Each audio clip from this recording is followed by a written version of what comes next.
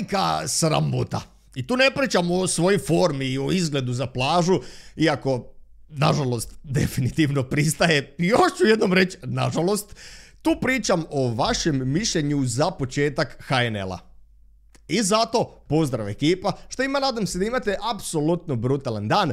Čitao sam komentare, gledao sam članke po portalima, bio sam na stadionu, slušao sam šta ljudi govore i onda na kraju svega još poslije Hajduka u nedjelju kad je završilo cijelo kolo, pitao sam par pitanja na Instagramu, postavio par anketica da vidim šta je stvarno mišljenje javnosti o tim nekim kao gorućim temama, onom o čem se najviše pričalo u zadnjih par dana vi koji ste bili na Instagramu i koji ste glasovali na anketama znate rezultate i baš zato što znate kakvi će biti rezultati, ja sam htio ovdje stati i reći ajmo krenuti pozitivno. Uvijek sam najveći serator, klasični serator, uvijek neki bullshit iz mojih usta, izlazi neka verbalna diareja, tako da ajmo stati na loptu i, i zamolio sam odmah u sljedećem storiju danas ujutro da napišete neke pozitivne strane, da stavite zašto vam je čaša napola puna, zašto ono, vidite optimizam u ovoj sezoni, zašto mislite da će ovo biti najbolja sezona do sad, zašto vjerujete u to. I odmah ću krenuti onda sa pozitivnim stranama, ne sa negativnim. I daleko najveća pozitiva je bila oko tog da su se ljudi vratili na tribine i da su dobro popunjeni stadioni. Jako ste sretni zbog to koliko sam mogao vidjeti po komentarima. Pogledao sam na stranicama HNS-a točne brojke i prvo kolo na tribinama je gledalo nešto manje od 17.000 ljudi. Kad pogledaš da je Hajduk bio u gostima i to da su oni igrali na poljudu da bi vrlo vjerojatno napunili ili puta dva ili čak puta tri uh, brojke preostale četiri tekme, onda je ovo stvarno dobro jer Hajduk u prvoj utakmici će sigurno imati, prvoj utakmici na poljudu će sigurno imati 20, 30, 25, nije ni bitno koliko tisuća ljudi vjerujem u pun stadion, tako da se ove brojke još samo mogu dizat uh, kroz sezonu baš zbog njih. A što se tiče samog ovog kola, najmanje ljudi je došlo na tekmu Šibenik Rijeka, tu je brojka bila 1678, a najviše je bilo na tekmi Dinama. 4320, nešto manje na utakmici Hajduka protiv Istre, s tim da ukupni kapacitet na Maksimiru je 22500. Bar sam toliko ja vidio za onaj Super Kup, za finale Super Kupa, odnosno za Super Kup. tako da 4300, 22500 nije najsrednija situacija. Maksimir ima još mjesta za hrpetinu narast, odnosno Dinamovi navijači za doći na stadion, ali svejedno generalno i, i meni ovo prvo kolo djelovalo kao neka, neka pozitiva. Što se tiče Hajduka, kad sam već spomenuo, oni će prvu tekmu domaću u HNL-u igrati tek početkom osmog mjeseca zbog Europe jer je odgođen ovaj jadranski derbi protiv Rijeke i iako će taj sigurno biti stadion pun na toj tekmi. Prošle sezone je bio prosjek oko 12.500. Moguće da će ove sezone biti više. Ne sjećam se ni točno kako je funkcioniralo prošle sezone sa koronom i zabranama, ali sigurno će ove godine biti još veće i veće brojke. Pogotovo i za Hajduk i za Osijek u odnosu na prošlu sezonu i sa novim stadionom. Isto tako Varaždin je imao nenormalnih 3000 ljudi, nešto o čem Dragovoljac kojeg su zamijenili prošle godine nije mogao ni sanjati koliko se ja sjećam. I čak htio, brojke sam spomenuo jer uvijek spominjamo brojke u, u, u offside kao neke lude i bogu nepotrebne statistike i brojke i sve oko toga, ali čak meni osobno ovdje ni nisu bitne brojke, iako su dobre, bitno je meni ono što možeš osjetiti nekako među ljudima, ne, to, to je puno jače od brojki. Uh, Prošla sezona je bila jaka i nikad se više nije pričalo o, o domaćem nogometu unazad zadnjih par godina. Znači, ljudi su zagrizli, Hajduk je zapravo zagrizo, Rijeka je zagrizla, zagrizla Osijek je zagrizo. Hajduk je napokon došao do trofeja, Osijek i Rijeka uvijek grizu, Dinamo brani svoje mjesto na vrhu. Ljudi su se stvarno napalili i stvarno imam takav osjećaj da su jako željni toga da HNL napokon bude jak i da priča oko njega bude zanimljiva. I ono o čem se priča su onda saranje zapravo. Tu ću stati na kratko sa pozitivom, jer čini mi se kao žele da priča bude zanimljiva, a, a na kraju pola Hrvatske priča o tom kako ni ne može gledat utakmice HNL-a. Osim ako ne ode na stadion ili ne sjedne u kafić. Što je dosta tužno, brate. Ako ne upališ stream, što je potpuno ilegalno, ja izbjegavam u širokom luku, Fuj, vi svi lopovi, brate, koji gledate utakmice na internetu, doslovno otkidate jastog iz usta direktorima. Doslovno, svaki put kad pogledaš stream, jedan direktor ima manje kvadrata za treću vikendicu na moru. Kako možete biti takvi ljudi gledati ilegalne streamove i ne mogu sebi doći? Fuj! da, uh, situacija je takva da, čitao sam po komentarima, čitao sam po komentarima, dosta vas je doslovno bijesno i s razlogom bijesno, jer tipa prije par mjeseci se dogodilo da je dosta ljudi potpisalo ugovor sa suprotnom TV kućom koja nema prijenose i sad ste zapeli na ugovor od dvije godine i morate tražiti alternative nema šanse da dobijete HNL u, u svoju kuću. S tim da, da, neću više pričati o tim e, ni TV kompanijama, ni toj situaciji oko tog kanala i, što je samo na, na, na jednom programu, e, jer je to neka puno veća i, i šira, šira priča ovdje. Pričat ću o tom kako samo to iskustvo i, i gledanja tekme na TV-u je apsolutna katastrofa. Jedna riječ koja mi se samo ono koja mi kroz glavu prolazi je jadno. Brate, jadno je. Majke mi moje da je jadno, nema druge riječi.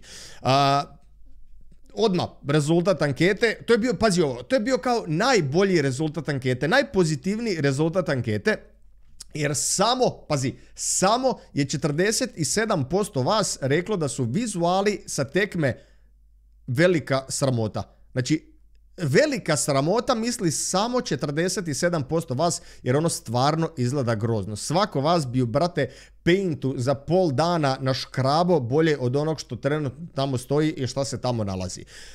Meni čak osobno nije ni to nešto što me najviše muči. Uh, meni je šokantno ono što se događa prije tekme, tijekom tekme, poslije tekme. Ona apsolutna fucking dosada. Ne znam, možda griješim u startu čisto da kažem, ne znam kako je ove sezone, jel se šta promijenilo od ovog kola pa nadalje, odnosno od ove sezone pa nadalje, jer ove sezone, odnosno to prvo kolo, gledao sam samo Hajduk na večer u nedjelju e, preko televizora i to sam gledao utakmicu, nešto čak malo tipko na laptopu i, i otišao jest na poluvremenu, tako da nisam gledao ni šta se događalo prije, ni šta se događalo poslije utakmice. Ali, samo da se vratim u, u ono prošle sezone šta sam mogu pogledati na televizoru. Prošle sezone upalim derbi na TV-u. Prije utakmice, apsolutna nula što se tiče ikake emisije. Na polovremenu isto tako, naravno ako nema prije, nema ni na polovremenu nikakve emisije, nikakvih eh, komentara, ni, ništa, znači ništa. I poslije utakmice instantno odmah skačemo na reklame i ništa se ne događa. Znači utakmica, reklame, to je to. Nikakva zabava, nikakav happening. Kad smo već kod reklama, to, to moram spomenuti, to mi se urezalo u mozak za, za, za, za zauvijek, brate. Ona reklama, točno se sjeća majke mi te utakmice, jer sam htio vidjeti emisiju na, na, na polovremenu, ja pogledam, ide reklama, mislim da je prva bila od tipa Osječkog. Osječko. Ja, jel se vi sjećate te reklame? Ja, sam, ja osobno, brate, sam popio hektolitre osječkog piva u svojih, evo, preko nekoliko godina iskustva pijenja.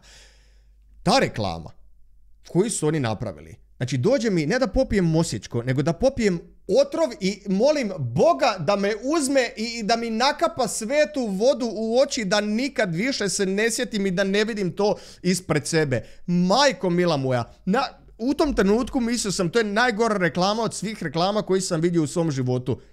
Ali ne, ne, ne. Poslije tog Ma vjerojatno ćete se sjetiti. Ide reklama za neku vodu. Ne mogu se sjetiti ni kako se zove voda, ni šta se događa. Znaš zašto ne mogu sjetiti? Jer nisam ni čuo žensku šta fucking priča. Reklama za vodu. Ona stoji ispred nekih plitvičkih jezera, nijagarenih slapova, ne znam brate čega, ono mandinog potoka. Nisam siguran stoji i iza nje šušti nemilo sve do neba i nazad. Ne, doslovno ne čuje žensku. Ona priča, ti nju ne čuješ od vode koja žubori i to je reklama samo tipa 10 sekundi i onda se ugasila i to je to. Tu mi je ovak, to, evo, doslovno se sjećam ovog, to mi se urazilo, ovak sam gledao kao, Jel to naš nogomet, brate? Jer nije nogomet samo 90 minuta utakmice. Nogomet je ono što se prije dogodi, ono što se poslije dogodi, ono što se dogodi na tekmi. Nogomet je ono što pričaju ljudi okolo u kafićima, na poslu, u školi, na faksu. Nogomet je cijela ta neka povezana situacija, a ne ova grozota koja me tera na povraćanje, brate. Doslovno, ne na povraćanje, na pišanje. Dok sam slušao te slapove, brate, mi se zapišalo i onda sam bio miran tijekom cijelog drugog polovremena. Katastrofa.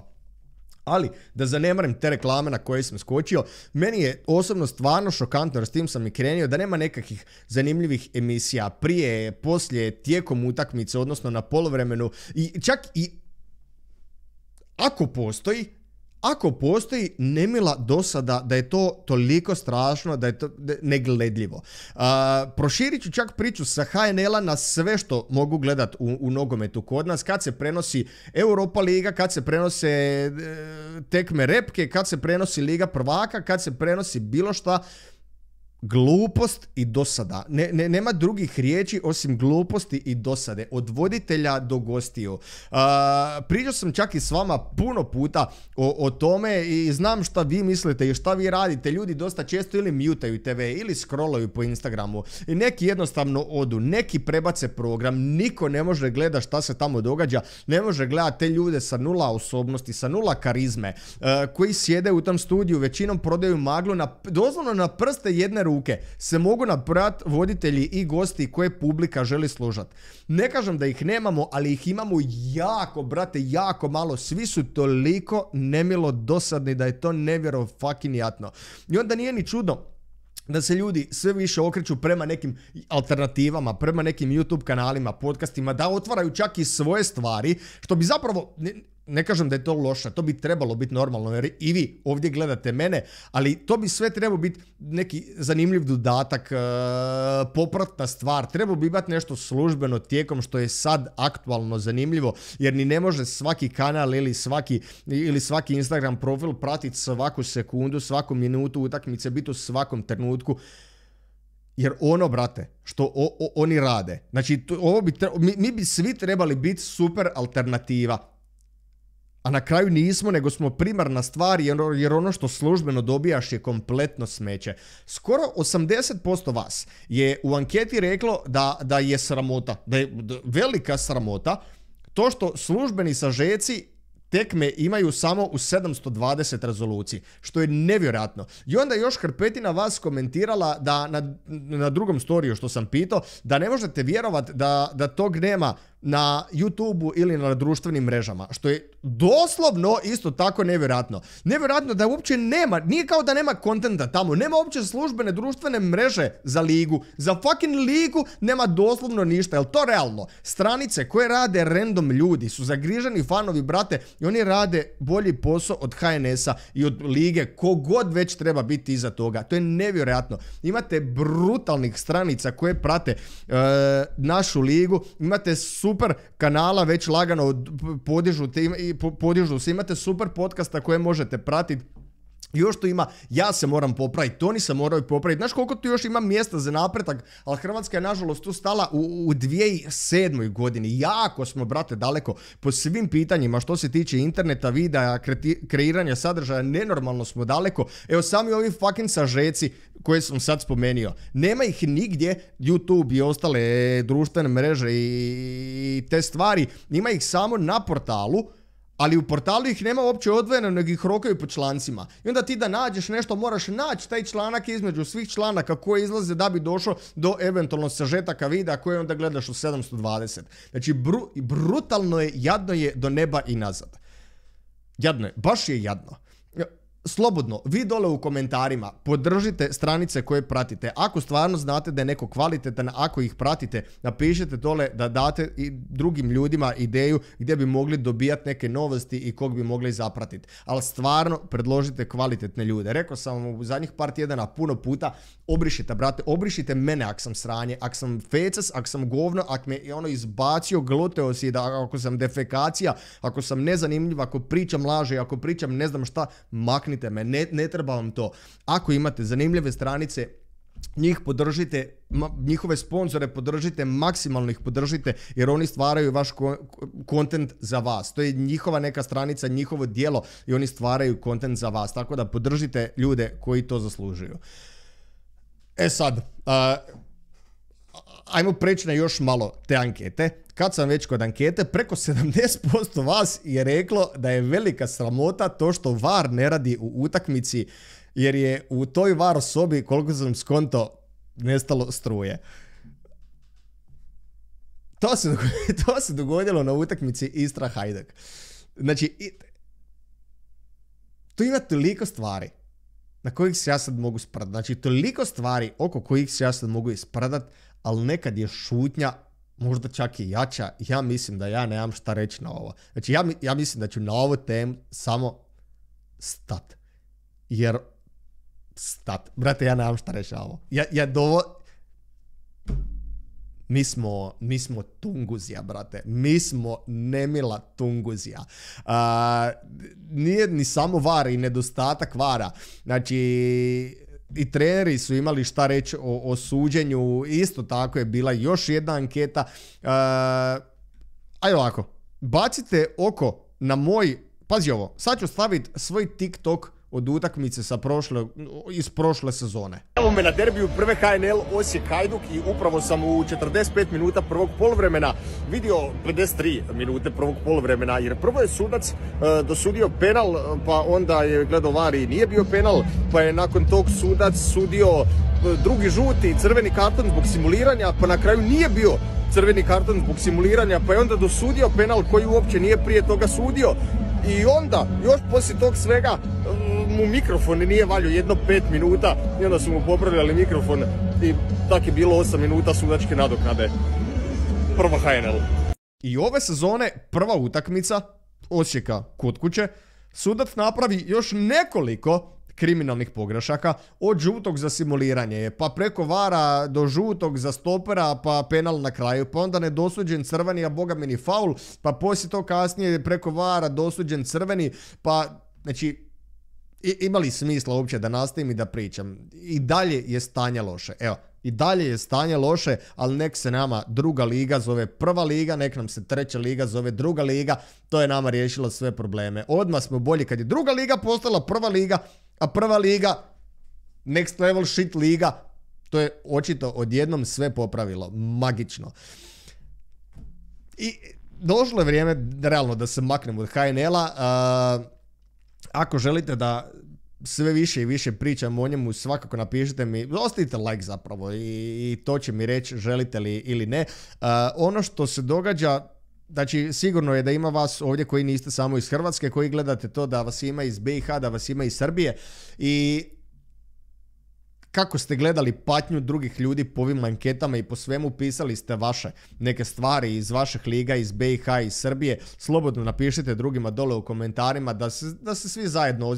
lakše je kad vidiš da je neko drugi isto jadan. Da, da, da, da ni, njemu trava nije baš zelena i da je i, i kod njega ono krava umrla. Kad znaš da je susjedu krava umrla, malo si ono osmijeh na lice ti dođe. Tako da, budite svakako jadni zajedno dole u komentarima, bit ću ja s vama jer očito to nije isključivo isključivo za Hrvatsku, svugdje se ovaka sranja događaju, ali kažem pozitive, barem među publikom ima i stvarno svi želimo da ovo, da ovo postane jako. A onda idemo dalje.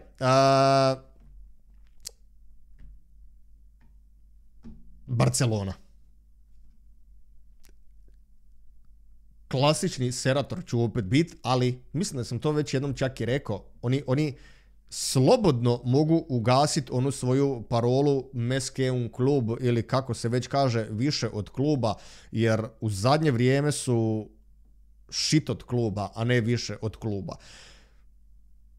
Brovski, svim silama već mjesecima pokušavaju isterat Frankie de Jonga iz kluba, ne žele ga plaćat, govore mu ako želi ostati da mora pristat na ogromno smanjenje plaće. žele se otarasiti što prije, rekli su da neće voditi na pripreme Puiga, da neće e, voditi Umtitija, da neće voditi Mingezu, da neće voditi Braithwaita, ikonu. svim silama se žele otarasiti i smanjiti plaće igračima, a onda u tom trenutku kupe Levandovskog, kupe Rafinju i potpišu Kesija i Kristensena. I možda daleko najgore od svega, postoje neki izvori da osim što će plaćati Levu 9 milijuna eura godišnje, da moraju davati njegovom agentu 5 milijuna godišnje, odnosno 20 milijuna sve ukupno. 20 milijuna eura za agenta fucking, za agenta 20 milijuna eura. Ovaj svijet je totalno zastranio, brate, i nikome, nikome ne može uvjeriti u suprotno. Niko. Niko. U svakom slučaju, da ne bude da samo kenjam opet, brutalno ljeto. Brutalno ljeto što se tiče transfera za Barcu. Iskoristili su sve moguće kredite, brate. Prihode iz budućnosti su uzeli već sad i, i moraju biti u samom vrhu, ja bih rekao, u sljedećih par godina ako želite dugove, onda kasnije i vratiti. Barca je, odnosno ako im novci više iz tih prihoda neće dolaziti pošto su ih uzeli sad. Barca sa dvije ili tri loše sezone, ako se slučajno dogode, bez trofeja, bez zanimljivih stvari, što nogometu nije nemoguće, je u jako lošoj situaciji. Klub je sad, čini mi se, znači imaju sasvim ok ekipu, ali klub je, čini mi se, sad pod jako velikim pritiskom i, i mislim da je uspjeh krucijalan da bi mogli nastaviti po starom ili da bi uopće mogli nastaviti ovako kako sad funkcioniraju. Poslije Barcelone do apsolutno kralja svemira, do Murinja koji je tetovirao tri europska trofeja koja je on jedini realno i osvojio. Liga prvaka sa Portom i Interom, Europa Liga i kup UEFA sa Unitedom uh, i, i Portom i konferencijska liga sa Romom. Ljudi boji, ako sam nešto mislio da u životu neću vidjeti, to je Mourinho sa fucking tetovažom. Ali, s druge strane, koliko vas je isto reklo to za mene kad ste vidjeli da imam tetovažu, kao ne mogu vjerovati da on ima, onda stvarno više ne, ne može znati na ovom svijetu ko će šta prilijepiti na sebe, samo čekam još da Pep Guardiola tetovira kosu na čelembaru i, i onda sam sve vidio u životu, to je to brate, ne, onda dalje nema. A, doživio sam, vjerovali ili ne, doživio sam još jedan Chelseajev transfer. Nakon što od ljeta 2017. slušam o tom kako će Kulibali postati igrač Chelsea, da će preći u Chelsea, napokon se to dogodilo. Možda čak ne 2017. Možda je prvi put 2016. došla vijest da je Chelsea zainteresiran za Kolibalija i od onda svako ljeto ista priča. I napokon je stigo kakav brate trojac u sredini će to sad biti. Kolibali, Kante, Kovačić, KK nije to dobro. Uh, Chelsea, što se tiče samog transfera, Chelsea je odlaskom Abramovića očito odustao od politike da igračima preko 30. ili koje već godine daju samo godinu dana ugovora i male ugovore pa onda produžuju konstantno jer Kolibali je sad potpisao na 4 godine što bi značilo da će sa 35 ako ga ne prodaju bit u Chelsea. fenomenalno koliko se dugo nije ništa događalo u Chelsea sad su u roku doslovno tjedan dana dobili i Sterlinga dobili kupili i Sterlinga i Kulibalija koja su dva vrhunska igrača i dva instantna pojačanja, znači dva instantna igrača u, u prvom sastavu Chelsea. Sterling i Kulibali za ne dođe više niko, sasvim dobar prilazni rok, sasvim dobar. Uh, sa druge strane, United recimo radi poprilično ozbiljne transfere. Lisandro Martinez je stigo iz Ajaxa za skoro 60 milijuna eura, što bi značilo da Ten Hag doslovno ako si iz Ajaxa, ako si nekad u životu pogledao u smjeru prema tom stadionu, ovaj te hoće da igraš u Manchesteru. Želi i De Jonga i, i doveo je Eriksena sad, na, na free transfer je došao, nije ostao u Brentfordu, što je fantastičan napredak. Neću reći da je fantastičan, vidit ćemo kakav će biti, ali veliki napredak za, za United. Nakon što su Lingard i Mata otišli, bolje od njih obojice definitivno.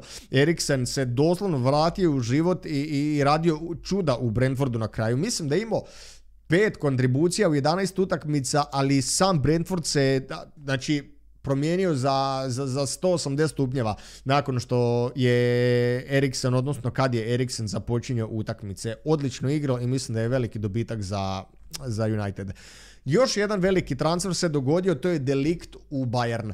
Nakon Manea i, i dvojca iz Ajaxa, očito se samo Ajaxovi igrači prodaju ovog ljeta, stigo je i Delikt, isto je čovjek iz Ajaxa. Nevjerojatno, doslovno nevjerojatno. Uh, Bayern je ostao ovog ljeto bez leve, što bi trebao biti ono katastrofa, bez daleko njihovog najboljeg igrača, a nakon ovog svega zapravo, nakon što je otišao, oni uopće ne izgledaju lošije. Mazru i Gramenberg su stigli, a ugovor su produžili i Gnabri, i Kimih, i Gorecka, i Millere. Znači, Bayern means business, definitivno, stvarno, Bayern dobro izgleda u ovom trenutku. Uh, Ovako, izašao je video gdje su Bakajoka nasred ulice uhitili. Priča se da će ga uhititi zbog ovog kriminala kojeg je radio u Chelsea na terenu. Kakav je taj tim bio debakl, to je nevjerojatno. da, nije mi bilo jasno šta se događa kad sam vidio ovaj video, vidio sam ga bez konteksta doslovno, ali nije na kraju neka luda priča uopće ispala. Koliko sam vidio, policija je tražila dva osumnjičena koji su bili po opisu slični Bakajoku e, i koji je već bio s njim u autu i nakon toga su ih pustili i sve je bilo ok ne znam koliko je bilo ok, pošto je ženska uperila pištolj, brate, u auto ovog tipa, ali kao sve je prošlo u, u, redu na kraju, niko nije sad to dogodio. A znaš šta se dogodilo? Bar se tako piše. Da je Ronaldo dobio ponudu iz Saudijske fucking Arabije za 250 miliona eura za dvije godine. 250 miliona eura za dvije godine. 250 miliona eura za dvije godine. To je 2,5 miliona funti tjedno. Ima li ovaj život smisla? Jedna osoba u tjedan dana zaradi koliko prosječna osoba ne zaradi u životu. Mala, mala kao računica. Ajmo pretjerat. Ajmo pretjerat i reći da osoba zaradi 100.000 kuna godišnje. Što je realno pretjerano za ovu Hrvatsku. To je u 40 godina 4,5 miliona kuna. To je oko pola miliona funti za 40 godina.